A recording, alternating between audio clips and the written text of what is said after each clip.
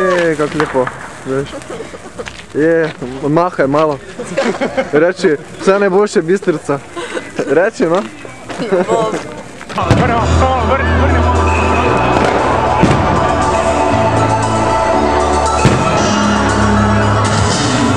Mitja mi je rekel, ne, da ne smem zamuditi. Ja.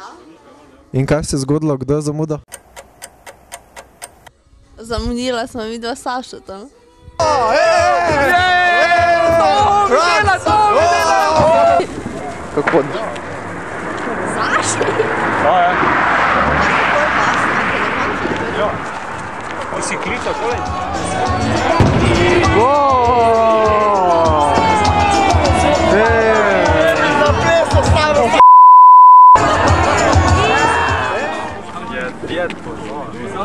По-моему, Sony заел там при Бранку.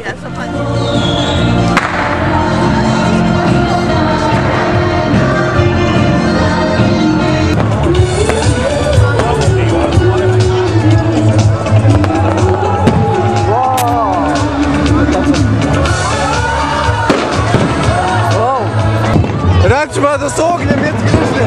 Malo su nas grišli, malo su 15 Malo, malo.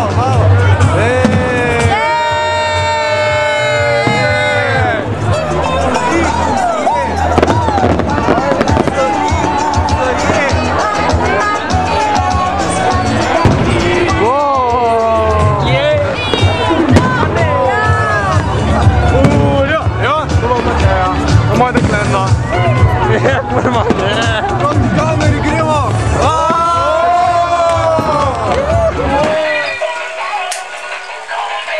Če bi lahko šel pet let nazaj,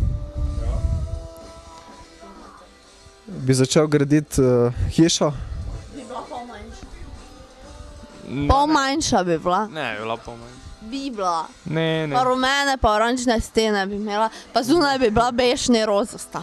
Pa imela bi polkne, zdaj pa nima ne rolet, pa ne polk, pa ne žaluzi. Uh, Saša, čestitam ti, da si jo spoznal pred enim letom, če bi jo spoznal pred desetimi leti. Ne? Vrnemo, vrnemo.